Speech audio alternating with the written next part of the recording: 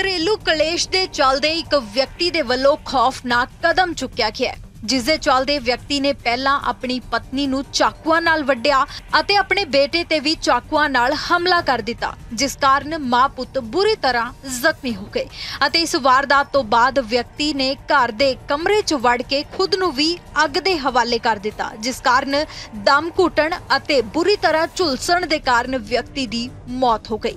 ਘਰ 'ਚ ਪੈ ਰਹੇ ਚੀਕ ਚਿਹਾੜੇ ਦੇ ਚੱਲਦੇ ਗਵਾਂਢੀਆਂ ਵੱਲੋਂ ਤੁਰੰਤ ਆ ਕੇ ਪਹਿਲਾਂ ਜ਼ਖਮੀਆਂ ਨੂੰ ਹਸਪਤਾਲ ਭਰਤੀ ਕਰਵਾਇਆ ਗਿਆ ਜਿਸ ਤੋਂ ਬਾਅਦ ਮਹਿਲਾ ਦੇ ਪਰਿਵਾਰਕ ਮੈਂਬਰਾਂ ਨੂੰ ਅਤੇ ਫਿਰ ਪੁਲਿਸ ਨੂੰ ਵੀ ਸੂਚਿਤ ਕੀਤਾ ਗਿਆ। ਇਹ ਦਿਲ ਨੂੰ ਦਹਿਲਾਉਣ ਵਾਲੀ ਘਟਨਾ ਅੰਮ੍ਰਿਤਸਰ ਤੋਂ ਸਾਹਮਣੇ ਆਈ ਹੈ। ਜਾਣਕਾਰੀ ਮੁਤਾਬਕ ਵਿਅਕਤੀ ਦਾ ਆਪਣੀ ਪਤਨੀ ਨਾਲ ਮਾਮੂਲੀ ਝਗੜਾ ਹੋਇਆ, ਜਿਸ ਤੋਂ ਬਾਅਦ ਵਿਅਕਤੀ ਦੇ ਵੱਲੋਂ ਇਹ ਖੌਫਨਾਕ ਕਦਮ ਚੁੱਕਿਆ ਗਿਆ। ਇਸ ਘਟਨਾ ਦੇ ਦੌਰਾਨ ਘਰ ਵੀ ਸੜ ਕੇ ਰਾਖ ਹੋ ਗਿਆ। ਉੱਥੇ ਮਹਿਲਾ ਦੀ ਹਾਲਤ ਗੰਭੀਰ ਦੱਸੀ ਜਾ ਰਹੀ ਹੈ, ਕਿਉਂਕਿ ਉਸਦੇ ਪਤੀ ਨੇ ਉਸਦੇ ਗਲ ਅਤੇ ਢਿੱਡ ਦੇ ਵਿੱਚ ਚਾਕੂਆਂ ਨਾਲ ਹਮਲਾ ਕੀਤਾ ਸੀ।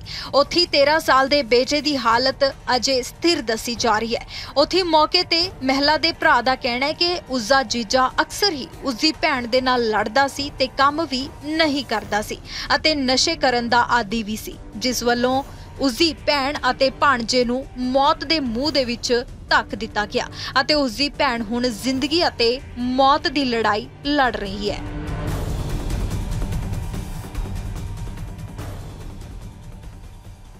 ਮਸਲਾ ਸਰ, ਮੈਨੂੰ ਇਹਨਾਂ ਦੇ ਮੈਟਰ ਦਾ ਤੇ ਕੋਈ ਪਤਾ ਨਹੀਂ ਘਰਾਂ ਦੇ ਕਈ ਮੈਟਰ ਹੁੰਦੇ ਕੀ ਆ। ਬਾਕੀ ਸਵੇਰੇ ਜਿਹੜਾ 3 ਵਜੇ ਸਾਨੂੰ ਮਤਲਬ ਆਵਾਜ਼ ਆਈ ਚੀਕਾਂ ਦੀ ਤੇ ਮੈਂ, ਮੇਰਾ ਬੇਟਾ ਉੱਠਿਆ, ਮੇਰੇ ਮਿਸੀ ਪਹਿਲਾਂ ਉੱਠਿਆ। ਇਹਨਾਂ ਜਾ ਕੇ ਵੇਖਿਆ ਤੇ ਉਹ ਛੁਰੀ ਉਹਦੇ ਹੱਥ 'ਚ ਆ, ਤੇ ਉਹਦੀ ਮਿਸੀ ਦੇ ਬਲੱਡ ਆ ਰਿਹਾ ਵਾ। ਤੇ ਮੇਰੇ ਬੇਟੇ ਨੇ ਜਾ ਕੇ ਤੇ ਛੁਰੀ ਖੋਣ ਦੀ ਕੋਸ਼ਿਸ਼ ਕੀਤੀ, ਉਹ ਛੱਡਦਾ ਨਹੀਂ ਪਿਆ। ਲੇਕਿਨ ਜ਼ਬਰਦਸਤੀ ਛਡਾਈ ਉਹਦੇ ਕੋਲ। ਬਾਅਦ ਚ ਛਡਾ ਕੇ ਤੇ ਮੇਰੀ ਮਿਸੀ ਨੇ ਛੁਰੀ ਛੋੜ ਦਿੱਤੀ ਆ। ਤੇ ਉਹਨੂੰ ਫਿਰ ਆ ਲੱਗੇ ਆਪਣਾ ਜੱਜ ਭਾਈ ਪ੍ਰਧਾਨ ਹੈ ਜੋ ਵੀ ਆ, ਉਹਨਾਂ ਨੂੰ ਬੁਲਾਇਆ ਤੇ ਫਿਰ ਆਪਾਂ ਹਸਪਤਾਲ ਲੈ ਕੇ ਗਏ ਉਹਨਾਂ ਨੂੰ। ਹਸਪਤਾਲ 'ਚ ਉਹਨਾਂ ਦਾ ਮਤਲਬ ਉਹਨਾਂ ਨੂੰ ਕਰਾ ਕੇ ਐਡਮਿਟ। ਉਤੋਂ ਜਦੋਂ ਵਾਪਸੀ 'ਚ ਆਇਆ ਮੈਂ 7 ਵਜੇ ਦੇ ਕਰੀਬ ਧੂਆਂ ਬਹੁਤ ਨਿਕਲਦਾ ਹੈ। ਦੂਜੇ ਇਹ ਕਿਰਾਏ ਤੇ ਰਹਿੰਦੇ ਸੀ? ਇਹ ਵੀ ਰੈਂਟ ਤੇ ਆ ਜੀ। ਅੱਛਾ ਇਹ ਇਹ ਤੁਹਾਡਾ ਮਕਾਨ ਹੈ? ਨਹੀਂ ਸਰ ਅਸੀਂ ਵੀ ਰੈਂਟ ਤੇ ਆ। ਤੁਸੀਂ ਵੀ ਕਿਰਾਏ ਤੇ ਜੀ ਇਹ ਮੇਰੇ ਕੋ ਆ ਇਹ ਮੇਰੇ ਬੇਟੇ ਕੋ ਆ। ਠੀਕ ਹੈ ਜੀ। ਇਹ ਦੋ ਇਹਨਾਂ ਦੇ ਜਾਂ ਦੋ ਕਮਰੇ ਉਹਨਾਂ ਕੋਲ? ਹਾਂ ਉਹਨਾਂ ਦੀ ਇਹ ਮੀਆਂ ਬੀਬੀ ਰਹਿੰਦੇ ਸੀ? ਇਹ ਮੀਆਂ ਬੀਬੀ ਨਾਲ ਬੱਚਾ ਨਾਲ। ਬੱਚਾ ਨਾਲ? ਹਾਂ ਉਹਨੂੰ ਵੀ ਮਰੀ ਛੁਰੀ ਵੱਜੀ ਹੈ ਅੱਛਾ ਮੁੰ- ਬੱਚੇ ਨੂੰ ਵੀ ਬੱਚੀ ਹਾਂ ਹੈ। ਉਹਦਾ ਇੱਥੋਂ ਮਾਰੀ ਆਇਆ ਉਹਦੇ ਆਪ ਦੇ ਪਿਓ ਨੇ ਹੀ ਆ? ਹਾਂ ਪਿਓ ਨੇ ਮਾਰਿਆ। ਨਾਮ ਸੀ ਜਿੰਨੇ ਆ ਕੀ ਨਾਮ ਸੀ? ਨਾਂ ਕੀ ਸੀ ਉਹਨਾਂ ਦਾ? ਅਨਿਲ ਕੁਮਾਰ। ਅਨਿਲ ਕੁਮਾਰ। ਹਾਂਜੀ। ਠੀਕ ਹੈ ਜੀ। ਤੇ ਉਹ ਬੱਚਾ ਅਹ, ਠੀਕ ਆ? ਬੱਚਾ? ਬੱਚਾ ਠੀਕ ਆ ਤੇ ਬਾਕੀ ਇਹਦੇ ਜਿਹੜੀ ਮੈਸੇਜ ਆ ਉਹਦੀ ਹਾਲਤ ਖਰਾਬ ਆ। ਉਹਦੀ ਹਾਲਤ? ਇਹ ਉਹਦੀ ਸਾਰਾ ਤੇ ਵੀ ਵੱਜੀ ਆ। ਹਾਂ ਤੇ ਪੇਟ 'ਚ ਵੀ ਹੈਗੀਆਂ ਨੇ ਛੁਰੀਆਂ। ਇਹ ਕਾਰਨ ਕੀ ਸੀ ਇਹਨਾਂ ਦੀ ਲੜਾਈ ਦਾ? ਕਿਉਂ ਲੜਦੇ ਸੀ ਸਰ ਕਾਰਨ ਤਾਂ ਤੇ ਤੁਹਾਨੂੰ ਪਤਾ ਘਰਾਂ ਦੇ ਮੈਟਰ 'ਚ ਜ਼ਿਆਦਾ ਤੁਹਾਨੂੰ ਪਤਾ ਇੰਟਰਫੇਅਰ ਨਹੀਂ ਕੀਤਾ ਜਾਂਦਾ। ਬਾਕੀ ਲੜਾਈ ਝਗੜਾ ਹੁੰਦਾ ਰਹਿੰਦਾ ਸੀਗਾ। ਬਾਕੀ ਇੰਨਾ ਨਹੀਂ ਸੀ ਅਸੀਂ ਕਦੀ ਸੋਚਿਆ ਵੀ ਸਰ ਇਹ ਕੰਮ ਕਰ ਕੋਈ ਕਰਦਾ ਸੀ ਕਿ ਨਾ ਨਾ ਕੰਮ ਨਹੀਂ ਇਹ ਢੋਲਕੀ ਵਜਾਉਣ ਦਾ ਕੰਮ ਕਰਦੇ ਸੀ। ਉਹ ਵੀ ਕਦੀ ਕਦਾਈ ਕਿਤੇ ਉਹ ਪੀਰਾਂ ਦੀ ਜਗ੍ਹਾ ਤੇ ਜਾ ਕੇ ਵਜਾਏ ਵੀਰਵਾਰ ਹੋ ਅੱਛਾ ਗਿਆ। ਮੀਨ ਤਬਲੇ ਦਾ ਢੋਲ ਕੇ ਵਜਾਉਣ ਦਾ ਕੰਮ ਕਰਦਾ। ਕਰਦੇ ਸੀ ਬਾਕੀ ਉਹ ਪ੍ਰੋਪਰ ਨਹੀਂ। ਅੱਛਾ। ਬੱਚਾ ਬੱਚਾ ਕਿੰਨੇ ਸਾਲਾਂ ਦਾ ਹੈ? ਬੱਚੇ ਲੜਕਾ ਇੱਕੋ ਇਹਨਾਂ ਦਾ। ਇੱਕ ਲੜਕਾ ਸੀ। ਕਿੰਨੇ ਸਾਲਾਂ ਦਾ?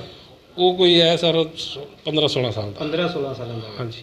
ਠੀਕ ਹੈ। ਤੇ ਉਹਨੇ ਦੋਵਾਂ ਨੂੰ ਹੀ ਮਾਰਿਆ? ਦੋਵਾਂ ਨੂੰ ਮਾਰਿਆ ਸਰ। ਦੋਵਾਂ ਨੂੰ ਮਾਰ ਕੇ ਫਿਰ ਆਪਣੇ ਆਪ ਨੂੰ ਉਹਨੇ- ਫਿਰ ਆਪਣੇ ਆਪ ਨੂੰ ਇਹ ਰੂਮ ਦੇ ਵਿੱਚ ਉਹ ਵੜ ਕੇ ਅਸੀਂ ਉਸ ਛੁਡਾਇਆ time ਨਾ। ਤੇ ਘਰ ਹੋਰ ਕੋਈ ਨਹੀਂ ਸੀ ਜਦੋਂ ਇਹਨੇ ਆਪਣੇ ਆਪ ਦੇ ਅ, ਅ, ਨਹੀਂ ਸਰ ਕੋਈ ਨਹੀਂ ਸੀ ਇਹ ਹਸਪੀਟਲ ਸਾਰੇ ਹੀ।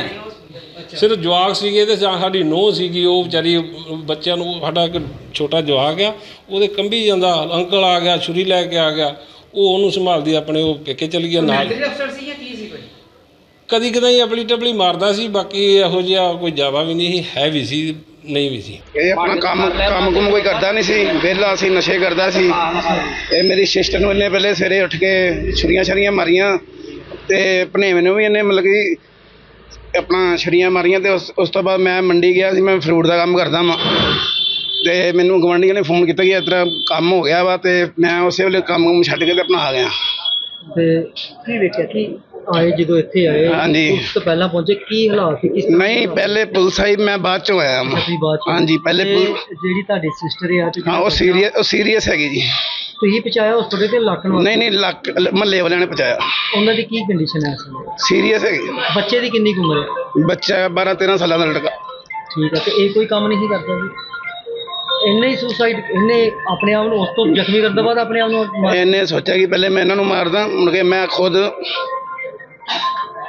ਚੱਕਰ ਹੋਇਆ। ਕਿੰਨਾ ਸਮਾਂ ਆ ਵਿਆਹ ਹੋਇਆ ਵਿਆਹ ਨੂੰ ਦੇਖੋ ਜੀ 30 ਸਾਲ ਹੋ ਗਏ ਨੇ। 30 ਸਾਲ ਹਾਂਜੀ। ਇਹ ਬੰਦਾ ਮੈਂਟਲੀ ਅਪਸੈਟ ਸੀਗਾ। ਅੱਜ ਸਵੇਰੇ 4 ਵਜੇ ਇਹਨੇ ਆਪਣੇ ਘਰ ਵਾਲੀ ਨੂੰ ਸੱਟਾਂ ਲਾਈਆਂ ਤੇ ਆਪਣੇ ਬੇਟੇ ਨੂੰ ਸੱਟਾਂ ਲਾਈਆਂ। ਉਹ ਗੁਰੂ ਨਾਨਕ ਦੇ ਹਸਪਤਾਲ ਦਾਖਲ ਹੈ। ਬਾਅਦ 'ਚ ਆਪਣੇ ਘਰ ਦੇ ਅੰਦਰ ਹੀ ਵੜ ਕੇ ਇਹਨੇ ਤੇ ਆਪਣੇ ਕਮਰੇ ਨੂੰ ਅੱਗ ਲਾ ਲਈ। ਤੇ ਕਮਰੇ ਤੇ ਅੱਗ ਲੱਗਣ ਕਰਕੇ ਤੇ ਸਾਹ ਘੁੱਟਣ ਕਰਕੇ ਤੇ ਜਲਣ ਕਰਕੇ ਦੀ ਮੌਤ ਹੋ ਸਰ ਕੀ ਨਾਮ ਸੀ? ਕਿੰਨੀ ਉਮਰ ਸੀ ਸਰ ਇਹਦੀ? ਗਈ ਇਹ ਆਏ ਇਹਦੇ 2 ਮਿੰਟ ਥੋੜੇ ਜਿਹਾ ਵੇਟ ਕਰ ਲਓ ਮੈਂ ਤੁਹਾਨੂੰ ਦੱਸਦਾ ਨਾਮ। ਵੈਰੀ ਫਰੈਂਡ ਜ਼ਖਮੀ ਕਿੰਨੇ ਨੇ ਸਰ? ਦੋ ਨੇ ਜੀ। ਉਹਨਾਂ ਦੀ ਕੀ ਕੰਡੀਸ਼ਨ ਹੈ ਉਹ ਠੀਕ ਹੈ ਜੀ ਉਹਦਾ ਆਪਰੇਸ਼ਨ ਹੋ ਗਿਆ। ਤੇ ਉਹ ਠੀਕ ਨੇ।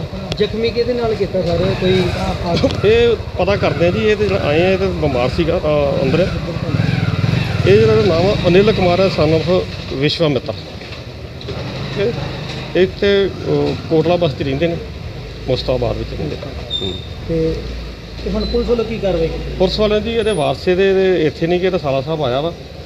ਇਹਨਾਂ ਦੱਸਣ ਮੁਤਾਬਕ ਤੇ ਮਹੱਲੇ ਵਾਲਿਆਂ ਦੇ ਦੱਸਣ ਮੁਤਾਬਕ ਇਹਨੇ ਆਪਣੇ ਆਪ ਨੂੰ ਅੱਗ ਲਾ ਕੇ ਸੁਸਾਈਡ ਕੀਤੀ। ਸਰ ਤੁਹਾਨੂੰ ਕਿੰਨੇ ਵੇ ਇਨਫੋਰਮੇਸ਼ਨ ਮਿਲੀ ਸਾਨੂੰ ਜਦੋਂ ਇਨਫੋਰਮੇਸ਼ਨ ਮਿਲੀ ਹੈ ਇੱਕ ਘੰਟਾ ਪਹਿਲਾਂ ਉਦੋਂ ਅਸੀਂ ਆ ਗਏ। ਹੁਣ ਕੀ ਕਾਰਵਾਈ ਕੀਤੀ? ਹੁਣ ਜੀ ਜੋ ਕਾਰਵਾਈ ਆਉਣ ਬਿਆਨ ਲਿਖਾਉਣਗੇ ਘਰ ਵਾਲੇ ਉਸੇ ਮੁਤਾਬਕ ਕਾਰਵਾਈ ਅੰਦਰ ਚ ਇਹ ਆਪਣਾ